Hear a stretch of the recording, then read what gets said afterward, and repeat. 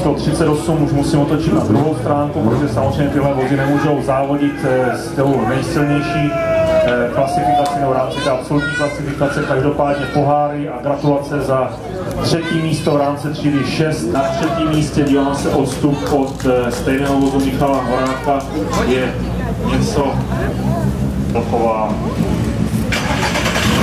devátá příčka. Thank you.